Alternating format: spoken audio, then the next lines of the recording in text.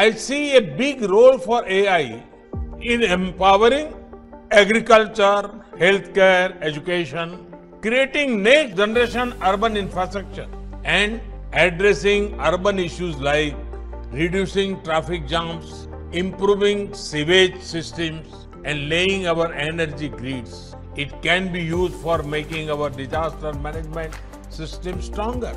It can even be used to solve the problem of climate change.